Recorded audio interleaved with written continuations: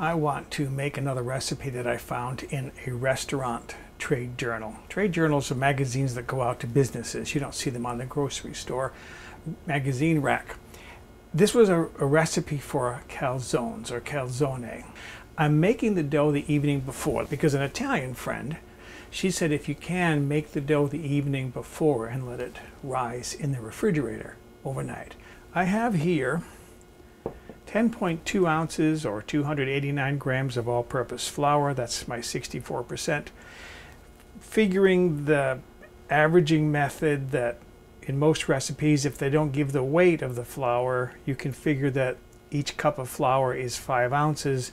This is about just over two cups of flour, and this is 5.8 ounces of water, 100 64 grams. I'm doing this by weight. Again, it's almost three quarters of a cup. And that's my 36%. So I'm going to put that in my bowl. I'm going to add one teaspoon of sugar, one teaspoon of yeast, and then I'm going to put about half of this flour in there to get started. You don't have to be too fussy mix that together and that'll be my sponge. I'm going to leave that for a few minutes just to activate that yeast a little bit. I didn't warm up my water because I'm going to put this dough in the refrigerator anyway so I don't care how warm things are. You can use cold water, it doesn't really matter, it just takes it a little bit longer for the yeast to get active. I'm ready to continue going now here. I'm going to add more of my flour. I'm not going to add it all because I want to just make sure that my ratio is going to be correct. And then I'm adding one half teaspoon of salt. And at one point here, I'm going to get to a dough that's too dry to mix up in the bowl. And then I'll transfer this to the counter and knead it and work in more of the flour as I need to. And I think I'm ready to transfer that to the counter. I can see that it's a little bit damp on the spoon. I am going to add the remainder of my flour here and then work this in. And what I want is a smooth dough that's a little bit more dense, a little stiffer than a bread dough. And calzone, if I understood what I read, is the Italian pronunciation, whereas here in the USA we would say calzones. I'm going to knead this now for about five minutes to get this smooth. And what kneading also does is there's two proteins in the flour, and those will link up and form the gluten chains that will give the dough its elasticity. All right, so there's my dough. I've been kneading that now for five minutes. It's beautifully smooth. It's got a nice texture to it. It's elastic. Now, to prepare this for rising, I have a large bowl here into which I'm going to put a little bit of extra virgin. No, this is not extra virgin. This is regular cooking olive oil, just pure olive oil. I want to just put that in the bottom of the bowl, slide that around to get it all lubricated, make sure my bowl is lubricated. And then I can cover this with plastic and put this in the refrigerator. Okay, it is now the following morning. There is my dough. I took this out of the refrigerator about a half an hour ago to let it warm up a little bit to come up to room temperature. Before I went to bed last night, I did more prep work. I shredded my cheese and so forth. The one thing I was concerned about was the ricotta, because my Italian friend said that moisture is the nemesis of calzone. If water gets into the bottom of the calzone while it's cooking, you end up with soggy dough on the bottom.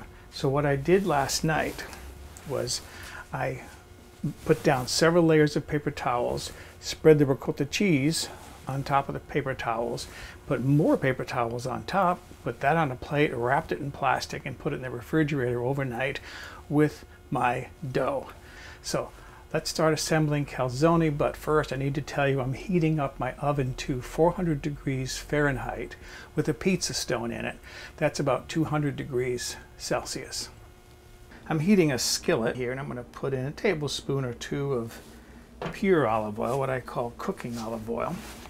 And then I have two Italian sausages here with the casing, the skin removed.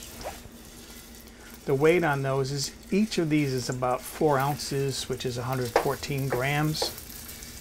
So there's my Italian sausage meat.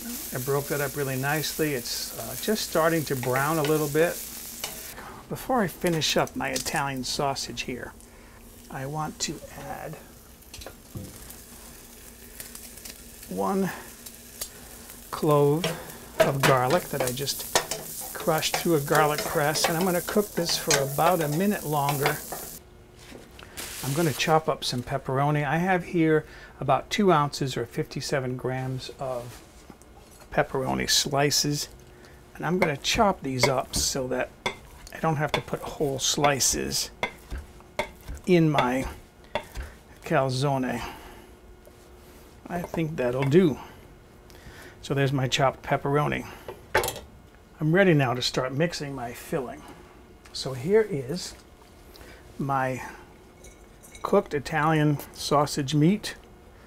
This is my chopped pepperoni.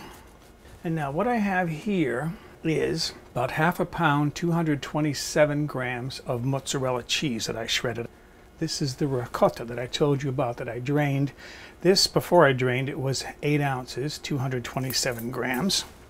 And then I have here about a quarter cup, which is 1 ounce, 28 grams of shredded Parmesan cheese. And this is where I really changed the recipe a lot. This is about a half a teaspoon of dried oregano flakes. The original called for two tablespoons. So I'm going to just mix this up now and I should have a fairly dry filling here. Okay, so there's my filling. That's got a nice feel to it. It's really dry. That's not going to yield any liquid that's going to affect my calzone. I'm going to divide this roughly equally into four pieces. Here now is my bread dough again. This is still a little bit cold, but it's come up quite a bit in temperature. And what I want to do is I want to divide this into four pieces.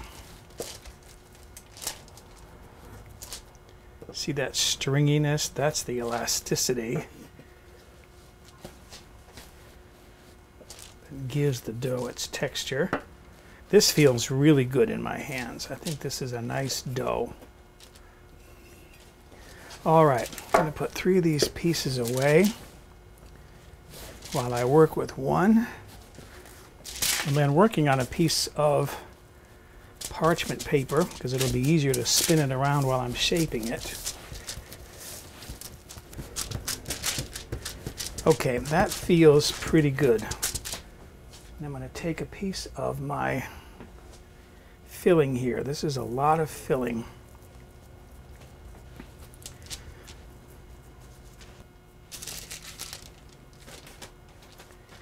And then seal it well around the edges.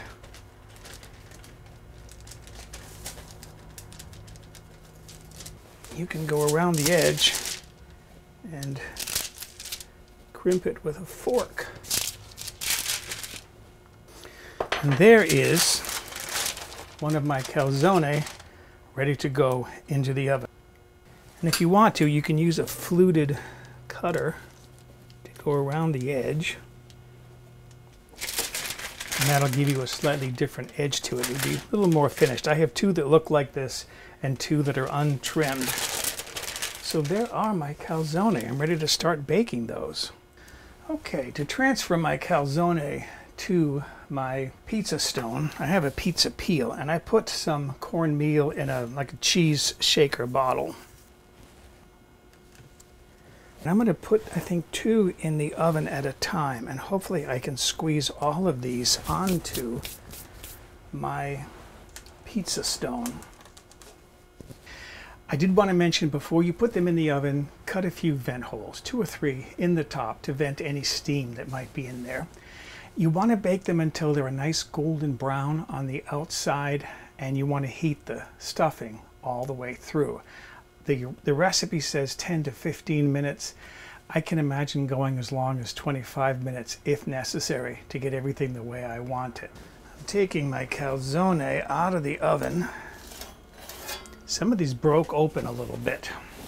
These baked for almost 20 minutes.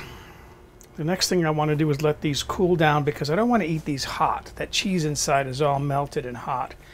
I want to let these cool down because I want to eat them warm. To plate this, they're cool enough now. I think I can eat these. Just place a calzone on a plate. And this is my heated marinara sauce. Put a little bit of that in a dipping bowl. And that is ready to eat. Can't wait to see how this is going to taste. This looks so big. I'm thinking maybe I should be eating it with a knife and fork. But here goes. I'm going to try this anyways. Get some sauce on there. Mmm. Tender.